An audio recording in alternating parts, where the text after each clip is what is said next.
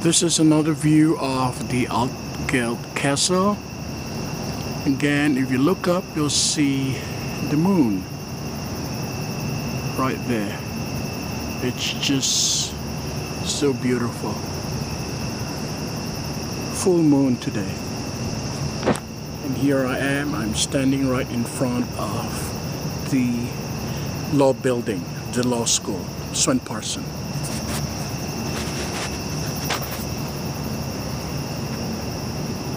There you go. That's the moonshine.